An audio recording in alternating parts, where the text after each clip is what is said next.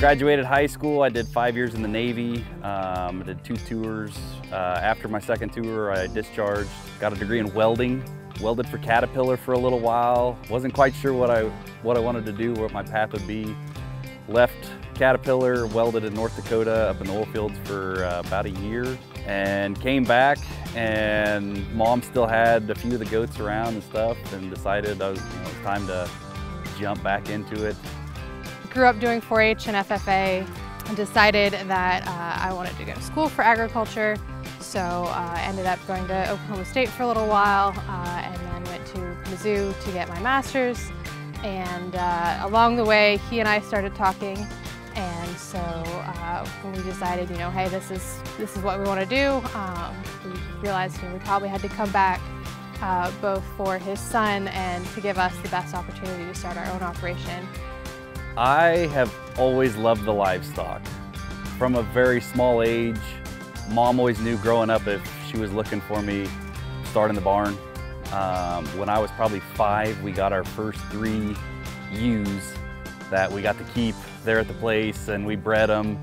And the first year I was able to show 4-H, I could tell my lamb stay and it would not move. I do a lot of the stuff with the goats. I pretty much kid them out myself.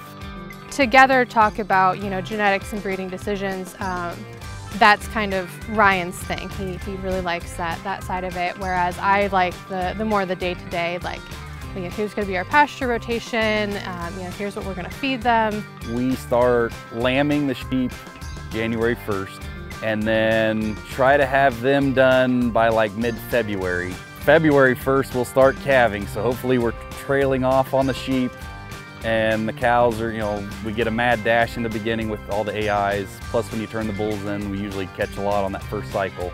And then March 1st is when the goats start. And so there are 90 days in there of just pure chaos.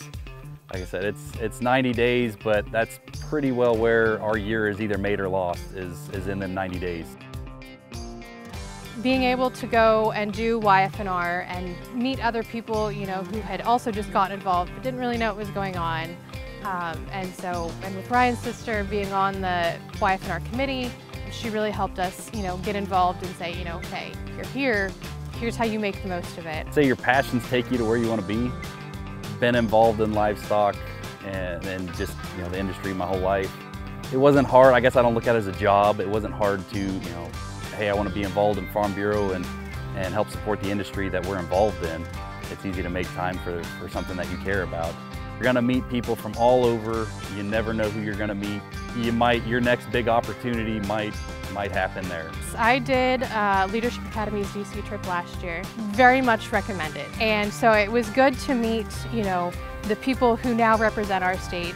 Getting in there and actually walking through these buildings and seeing, you know, here's the history and here's why, you know, our democratic process is so important, um, really kind of drove it home that, you know, you might just be one person, but you know, if you if you work together with an organization like Farm Bureau, you can do a lot more and make your voices much louder. I'm Ryan Musgrave. I'm a livestock producer from Clay County, Nebraska, and I'm Farm Bureau proud. I'm a diversified livestock producer, a rural Nebraskan, and I am Farm Bureau proud.